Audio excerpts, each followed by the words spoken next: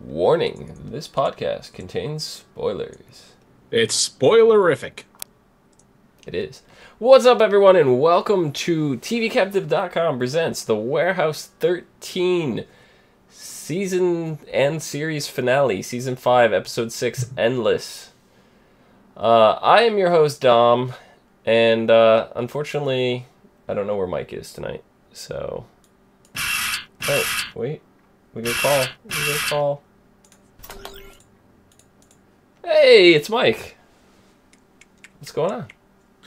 Mm, nothing much. Yeah? In the So- magic box again. The magic box. That's Magic where you were last week. Yeah, that's where I was last week, and now I'm in the magic box. You're in the magic box. Ah. It's not a box, it's a Farnsworth. I know it's a Farnsworth. I want one. Speaking of Farnsworth, they didn't did they even use the Farnsworth this episode? Not at all. That's that's kind of disappointing for their finale. No traveling necessary. Uh, this is true. Yeah. So, unfortunately, this No is football. the end. This is the end of the line. Yeah, there was No no, football. football. None. I'm sad.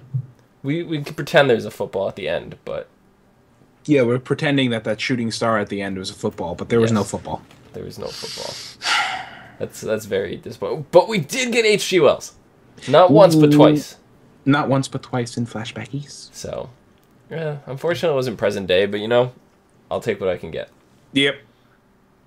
So, what did you think of this finale? I liked it. It was it was a good send off. It was. It was very good. It was it was equal parts, you know, heartwarming and whimsical and 10,000 dancing girls rampaging through the aisles. Yeah. that uh, so we see we see the intro. They're talking about the the round, round table time capsule of memories, uh, Egyptian endless wonder, whatever. Mhm. And uh, like Pete starts getting really mad over the fact that no one else is trying to save the warehouse. At, at that point, do you think he was justified in, in being angry? I guess he was justified in being angry. I think everybody else went to the acceptance stage of grief much quicker than he did. Yeah. It just there was no time frame. Like it didn't feel like they had to go and run and do this right this second. So I thought Pete was being a little unreasonable. I guess maybe he was being a little unreasonable. I don't know. But we end up learning why he was so unreasonable, but so it, it gets justified in the end, but still. Um the first memory we get to see is Claudia's memory. and just beforehand we, we see the warehouse 13 screen and it's you know the, the zooming through the warehouse like and I saw the 42nd street sign in the, the bottom corner and I'm like I don't think I've ever seen that before. Yeah, me neither. I was like, ah, 42nd Street signs. New, what the hell is that got to do with anything? So now I'm curious if they've been doing this all along, adding little random things in the intro that we've never noticed before. Yeah. Probably.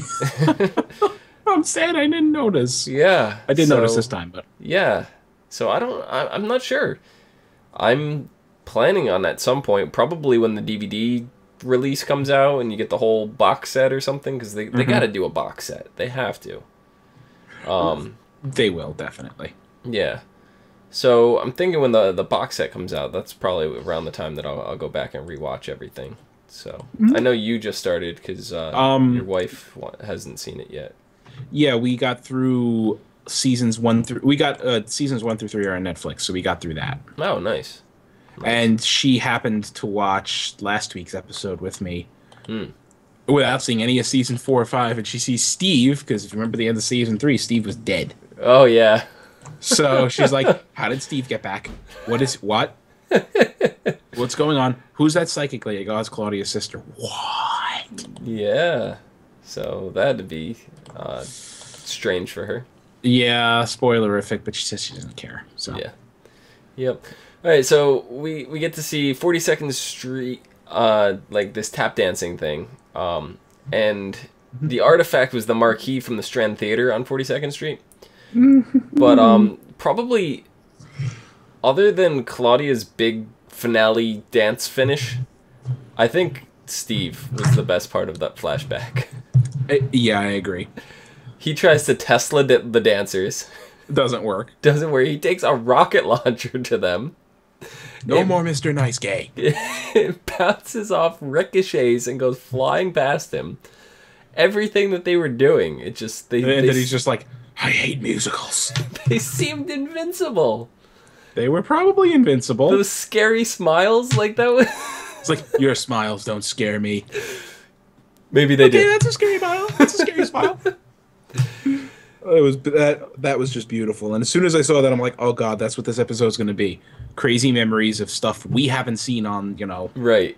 Here we here we were last week thinking that they were going to be flashbacks of things that we've already seen, and though there were some of those that were skimming by just before these memories, these were brand new old memories. Yeah. Huh? so There's actually, while we're talking about this, one thing I did not like about this thing, this whole episode. When, um, you know, Mrs. Frederic, you know, I, I like that they were goofing around that Mrs. Frederic was showing, you know, right. Steve a couple of her memories or whatever from the thing and all that. I that was stuff. getting mad because I'm like, are we ever gonna see anything from Mrs. Frederic? Like they're keeping all of like, uh, so that's Mr. Frederic. yeah, that that pissed me off. That was Mr. Frederic. I'm like, Gah! and then you know, oh, you were there for that. That Mr. Frederic probably pissed me off the most, but they did it intentionally to piss us off. Like that was their goal, and they succeeded. Yep, So, yeah, I enjoyed it. definitely. Um, the other artifacts that we saw in Claudia's memories was um, Busby Berkeley's flask, which ended up being a drunk driver. Uh, Just yeah, some drunk driver's flask. Yeah, so they poured it over um, Goodman Beggar's tin pan. I think it, Ah. that's what it said on the screen, but I think Artie called it something else.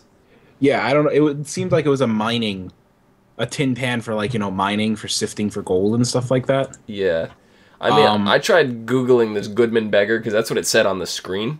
It said Uh-huh. Go- Goodman Beggar's tin pan. I tried Googling it and I couldn't find anything on Goodman Beggar, but there's somebody saying something about a, he was a blind beggar. Oh, that's pop. Oh, and the tin can would seek out all sources of light and knock it out. That So- makes sense. And no, it would seek out a source of light, and they sprayed the flask on it to make it swerve, Swerve. and hit all of them. Right. So, so it's kind of clever. Kind of clever. Um, but at the end of uh, Claudia's memory, we learn that Claudia doesn't, in fact, want to be the caretaker. Did this come as a surprise to you? Um, kind of not. Really? She's been so gung ho about it the last like season. Yeah, I guess she's been kind of gung ho about it, but you know what? It doesn't surprise me because she enjoy like that was not a question I had directly, but it's something that I think about. I'm like, huh, I guess I've noticed some of some of that a little bit here and there. That she enjoys being an agent way too much, She does. She does. and you know, caretaker would mean no more of that. yeah, funny though. for sure. Then Uh, when uh, Artie's trying to convince her, he shows Art. Uh, she show he shows her his memory, and but he gets to select his. He's different than than the other ones, so Uh huh. it seemed like all the other people it selected it for them, but Artie got to pick his. And I don't know if there was any specific reason for that, other I than think- he wanted to. I think he went in with a specific memory in mind and had it show. You know, everybody else just went in, you know, not really with any specific memory. Right. So uh, they went back in time to it was a 1940s officer club, and at 11:35 p.m. on December 31st of 1941, uh, just before uh, the war with Japan. uh, Um, it was yeah after Pearl Harbor, just before a lot of people shipped out. Right. Uh, somebody had activated this time bubble kind of artifact. Yeah. They go through and it's revealed that Artie can only enter once a year for 25 minutes at a time. Wait, so you mean you can only investigate this art for 25 minutes at a time once a year? You can see why it's aggravating. Don't you think that this would have been something that Artie would want to explain before entering You have 25 minutes. Why are you going to spend the first three minutes explaining it? Yeah, exactly. I would have done. I, you know, that's my thing. So that was, that was my little gripe with that flashback. But um, it ended up being Thomas Wedgwood's champagne glass. Uh, I looked up Thomas Wedgwood. He is uh, uh, like a pottery something or Mhm. other.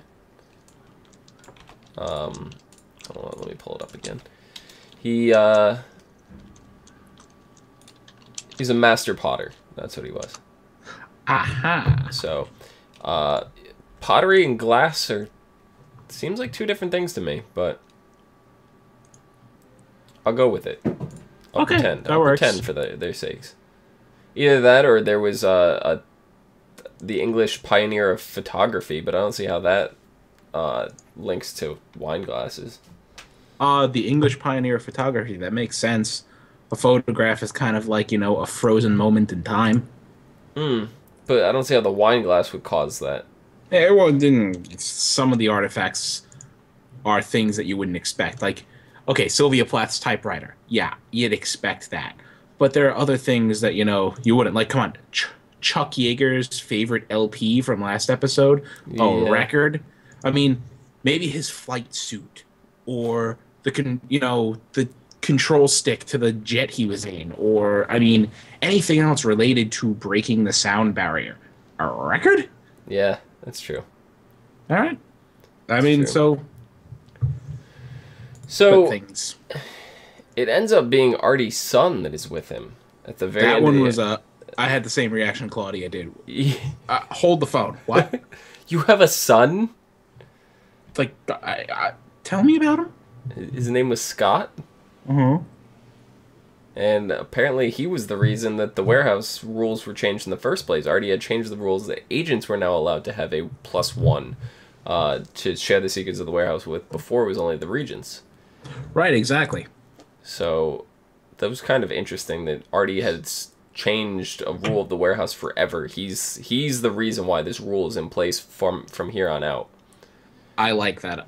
That the rule is, you know, but I, I, I, it makes sense because you know the agents would go in, have a life of solitude, and not be able to tell anybody. Yeah. Uh, Yeah, no, it, it makes a lot of sense, but I'm, I'm glad that Artie kind of had this uh, piece of history. Like, this rule is set in place forever because of him. So, yes. That's kind of awesome. But we never really got to find out why Artie's son actually left the warehouse, which was kind of a little upsetting for me. Do you care to take any guesses why you think he could he may have left? Um, I'm thinking, as already said, you know, you're supposed your plus one's supposed to stay on the outside to keep you grounded. I think Artie wanted them to have a full and, you know, unique life. Yeah. But his son probably would have had to have agreed with it, so Yeah, he probably agreed with it in some way. something must have happened. He got whammied or something, and he had enough. That's. Yeah, That's my who theory. knows? I wish. I wish that got answered. hmm That was that was probably the big thing, other than Mister Frederic. I think that was the big thing this episode that that irritated me. Mr. Frederic, Mr. Uh, Frederic. Yep. Then uh, the next one we get is Myka's memory. It's kind of Uh-huh. One of the shorter ones out of the group. I think I think Myka and uh, Steve had the shortest of the the memories. Uh, Myka's memory entailed a, it was a five-tailed fox artifact. We didn't get much information on it, but it turned into the anybody who wielded it into a ninja cat burglar. But did you know that when she touches it, it turns her into a ninja cat burglar? What did you know that it's not just me? and then Pete comes in and he turns around, ninjas. And then we get that cheesy like Mortal Kombat music going on. Yeah, like the the no Mortal Kombat knockoff. Myka, Myka, Myka Bering. And it mm-hmm. was like, Faultless victory. oh, it was so bad. It was so bad that it was good. It's just typical Warehouse 13. It's so bad that it's good. Yeah. Uh, So at the end of that, Myka gets called out for for being in love with Pete, and she finally admits it. I think this is the first time she realizes it too. Uh huh. But uh, did you happen to catch that smirk from Mrs. Frederic? Mm-hmm. it's like ooh, that smirk. Oh man. Mrs. Frederic knows what's going down. I'm gonna tell you right now, Mrs. Frederic stole this episode. Very Yes, she subtly, she stole this episode. Yes, she most definitely did. Uh, so, right after that, Artie ends up having this mental breakdown uh, in the warehouse. He's talking to the warehouse, saying how he put his whole life uh, on the line for the warehouse. He's never gotten anything back. He even calls the warehouse a whore. Yeah, actually, he does. Artie's just you know going on like it's some bad relationship, Yeah. and I was He amazed. literally called the warehouse a whore. and then he uh, just after saying he's never gotten anything back, the warehouse wind just starts blowing through the warehouse and an apple. Pops rolled. off, yeah, bounces down towards him. Did I miss like am I forgetting about some apple artifact, some tree that has an apple on it or something? Um, no, I think I I don't know. It, it was like you know, extending that olive branch, except it was an apple. Yeah, I I don't even know. Don't even know. Hmm. So, um, then we. Uh, is, the- is does that mean the warehouse is alive? We've always thought known the warehouse was kind of Sentient. you know, yeah, a bit Is the warehouse itself an artifact? maybe. You never know, actually. It'd be really interesting, considering this big artifact is housing all these little artifacts. Mm-hmm. So, um, Steve gets it through his head that uh, he's the Marilyn Munster of the group. Yes. He he referenced Claudia as Eddie, Pete as Herman, Myka as Lily, Artie as Grandpa, but says Mrs. Frederic doesn't really fit. I think she fits fine. I think she's the dragon that hides under the stairs. Yeah, actually, she is. As soon as but you look, he looked at him. He's like, uh, "You're not even part of this analogy. You, you don't even fit the pattern. Yeah, you don't even fit the pattern." So, uh, from there we go into Steve's memory. We can see H.G. Wells for a second time, Yes. uh, operating her shrinking device. Yes. Uh, Claudio and Steve were in the Nautilus 3 that was inside of Artie. And there was um, a clock lodged in Artie's heart. Yeah, this was a complete reference to the movie. Um, I think it was The Incredible Journey or something like that. Oh no, Fantastic Voyage. Mm-hmm. Yeah, and the, the ship I think was even the named the same thing, the Nautilus. Right. Interesting. See, I didn't know that. We didn't. We didn't get any name for the clock or anything like that. Was Was there a clock in the the Incredible Journey? No, um, uh, no, there was nothing like that. They were trying to save the guy because he was, I think he was like a spy or a diplomat or something, and he was a target of an assassination, Yeah. something of that sort, I believe. It's been a long time since I've seen that movie, but I don't know. There was nothing to do with a clock. Yeah. So we unfortunately didn't get any information on it, but it, it appears that uh, Steve vaporized it. W- w- Yeah. Did he neuralize it first or neutralize whatever? I don't know. Maybe that gun Why am I had thinking- something to do with neutralizing it. Why am I thinking of Men in Black neuralizing? Uh, yeah. That's one thing I would imagine. I'm surprised that this that Warehouse 13 hasn't come up with a neuralizer right. or anything like that in five seasons. I know. Um. So, when Steve comes out of his memory, he says it was an indescribable moment, but he forgot about it. Yeah, How, how do you forget an indescribable moment? because it's so indescribable. I'm gonna tell you right now, some of the most powerful memories that I have are with me forever. I'm never gonna forget them. I have, I have memories from when I was like two years old. I'm not even kidding. Two years old, stuff happened that I can remember. Yeah. So this is something that happened to him within the past two years. Something big. Yeah, exactly. so he I'm guessing or no, what season did he come in? Two, three. Three. He came in in season three. So yeah, past like two or three years. He's only been there. So Mhm.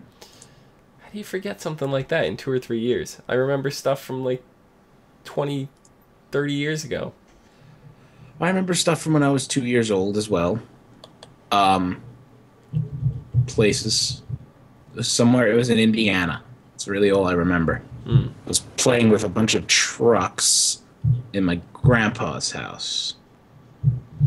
And that's all I remember. I specifically have one memory from when I was uh, I had to be like four or five. I was playing in the backyard, and my mom uh, is yelling through the kitchen window to come inside because it's pouring out, and I'm like, no, it's not pouring out, and uh, it just so happened that the rain had stopped directly over our house, and it was pouring in the front yard, and it was completely dry and sunny in the backyard.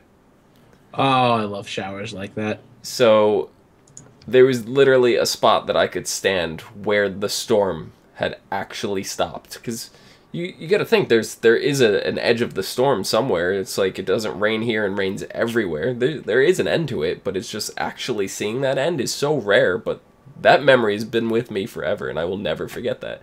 So if I can't forget something like that when I was like 4 years old, how does Steve forget about being inside a human heart within the past three years? I don't know. So, Insane. so that's my other gripe with this episode. I Yeah. guess. then uh, we see we see Pete trying to uh, push the compass into the furnace. what was he thinking? Um, he wanted to just destroy stuff, I guess. The furnace. I think. eh.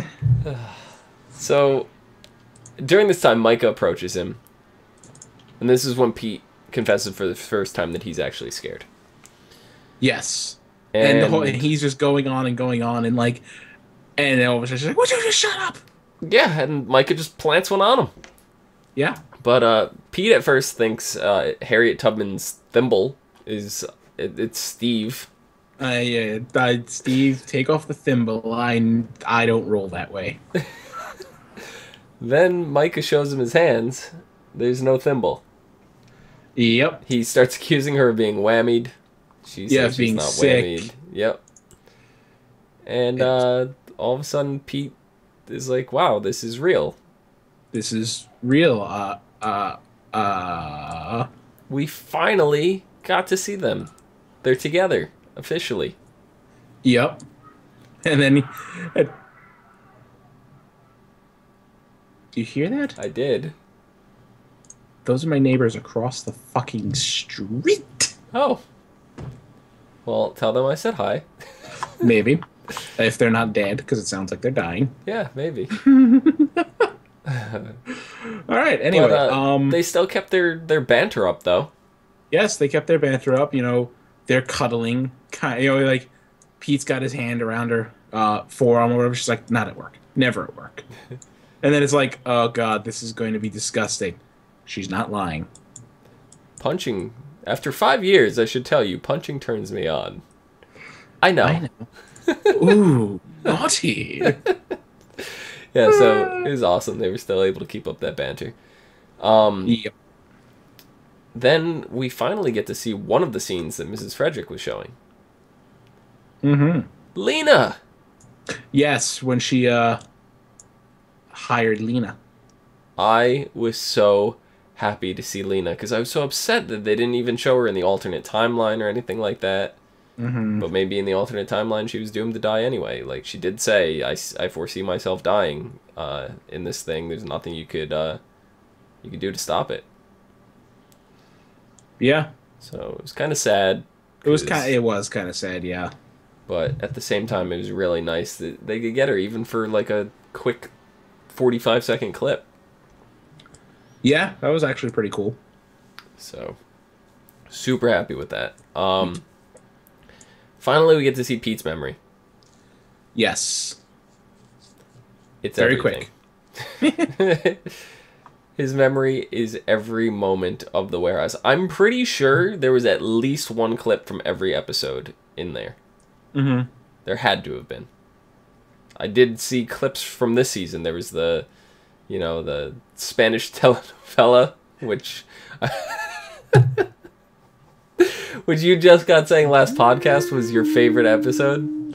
Ole! Ole. So Oh my god, that episode was just brilliant it was. in every way, shape, and form. It was. So I um, loved it.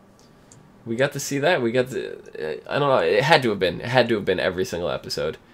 And Steve goes, "It's either that or you broke the table." And then Mrs. Frederic burst out laughing. I've never seen you laugh. I am a woman of infinite mystery. This this was the most human we've seen her. Uh huh. So, uh, right from that, they go they go back to work. They carry on their jobs. They they don't know when the warehouse is gonna end. We don't know anything. They're they're standing over the computer. They're looking. Something's breathing fire. Person's breathing fire. It has scales. And of all places, it's in Poughkeepsie. Yeah. Right, Right. I know. So I don't know if this was a nod to Mark Sheppard's other show, Supernatural, Mm-hmm. where they've just been mentioning Poughkeepsie a lot this this season, this past season, as like a a a code secret code word that they use, and uh, Mark Sheppard uses it. So uh, Valda in this in this series, it's highly possible that he had some kind of input somewhere and uh, requested that a, a specific word get added, or it could just be a complete coincidence. Don't know. Um, but then we get a flash forward to decades later. So I'd say 20, 30 years later. That's best guess. Yeah, completely new warehouse staff. Completely new warehouse staff, But for Claudia. yeah, Claudia is Mrs. Frederic. but we, we see three agents. Uh, Jack, who is basically the new Artie. Mm-hmm. We see Agent Maddox, the guy, and they didn't mention the girl's name at all. No, they didn't. I forgot to check the credits to see if uh, her name was mentioned in the credits. But um, the warehouse is still there. It hasn't moved. Mm-hmm. Pete was going crazy for no reason. 30, at least 20, 30 years later, this thing is still exactly where it was. And then, as Claudia says, if I had a nickel for every time the warehouse almost moved, well, then you'd have, I guess, a lot of nickels. You would. You would. Based on what you're saying now. Then uh, it cuts to Claudia looking over the Egyptian Endless Wonder round table thing. I don't know how it went from Sir Arthur's round table to the Egyptian Endless Wonder. I don't know. Maybe the Egyptian Endless Wonders. I don't. I don't know. Maybe the table. It, the table had hieroglyphics on it or of some sort. I don't know. I don't know. But they just kept saying Egyptian Endless Wonders. So I don't know how this relates to the round table. Arr? But um, we start seeing shooting stars. I'm like football, football, football. we see a shooting star football, coming football, for the camera. Like, And I'm like, No, not the No, football. not I was like, football. damn it! It would have been so amazing if the football hit us instead of the warehouse or somebody else. If the football hit us, that would have been epic. Yes, that would have been amazing. I still think the shooting star is the football, and I'm Mm-hmm. gonna go with that. That'll make me happy. Yep. So just pretend. Um. Yeah. So uh, I believe their like a producer or something actually played Jack. Somebody involved with the show. Uh, pl- played the character of Jack there in the final scene. Mm-hmm. But um, it does not look like we will be getting a Warehouse 14 spin-off series or anything like that. It looks like this this is done. Yeah, unfortunately, I believe it's done and over with. So it's disappointing. I mean, we still might get a Warehouse 14 somewhere down the line, and the fact that uh, they haven't announced a 14th warehouse and that they were still in Warehouse 13, maybe somewhere Yeah. down the line they could they could go back and explore it. But unfortunately, I think they are done. Yeah, right now I think they're done, and But that I've makes learned- me sad. I've learned to never say never, so I'm not counting out the possibility. Yeah, true. So, overall, with the few minor gripes that, that we had, Mrs. Fre- I mean Mr. Frederic, um, Steve's memory, and um, what was the other one? I don't remember. Artie's son. Oh yeah, Artie's son. Artie's son, how he left the warehouse. Other than those three minor things, I think they did a really good job of wrapping things up. I agree. The one thing that uh, I am disappointed that we never got to see was uh, we never got to see uh, a uh, Steve uh, explore any potential love interests. Yes. We did That get to we did get to see his ex, but it there was an interview I, I read um, a while back that if they uh, had a full season, that that is something that they were looking to explore, and they kind of set that up with the X. and Ah. because of the the short season, there was just not enough time to explore it. That's okay then. Uh, I feel that is not completely true because there was about five episodes of filler content. Mm-hmm. So I think they could have made it work. But Yeah, they probably could have figured something out. but these five episodes were real like the five filler content episodes prior to this, they they were really good. So Yes, they were. so I, at the same time I, I don't want I, I I don't wish they had changed anything. We we had uh what was? I don't even remember the first episode this season now. Um. Endless Terror. Endless Oh, that was Paracelsus. Yes. So that was. yeah, so that was the the first one with the alternate universe. That's where they set up episode five. So episode one was was really good uh, way to draw like jump back into the ser- series, get us refreshed and caught up and everything. Uh, then we had Secret Services. We had the drowning victims. Uh, and, and we got to see the the pair of Right. Secret Service agents, and And we got the Renaissance Fair, yep. Then we had the Renaissance Fair after that, the Savage Seduction. the Spanish telenovela. That was beautiful. Uh, we got to see a potential future Warehouse 14, um, Cangku Shisi, Mm-hmm. which never came to be, and then the finale. So these these past six episodes, though not a whole lot of major content, it was very satisfying. Yeah. Yeah, I agree. So Ah. if they had a full season, is is there anything else you wish they uh, they would have explored? Um.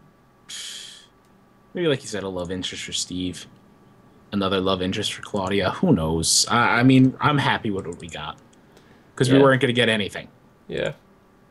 So I'm happy with what we got, and I'm sad it's over, but at the same time, I'm glad it ended, I guess, the way it did.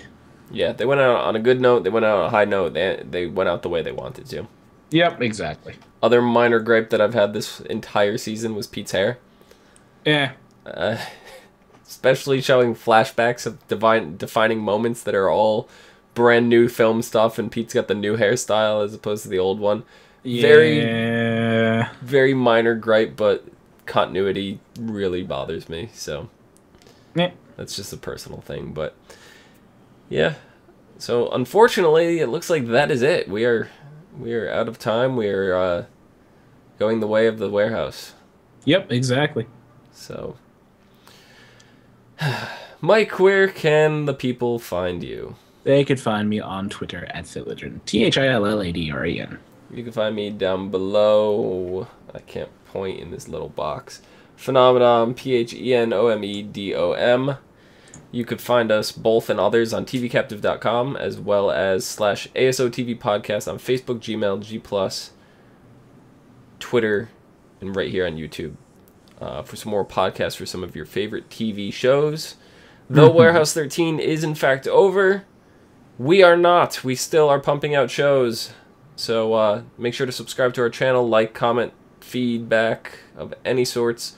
If we are not covering a show that you are interested in, uh, shoot us some suggestions. We'll see what we can do. Yep.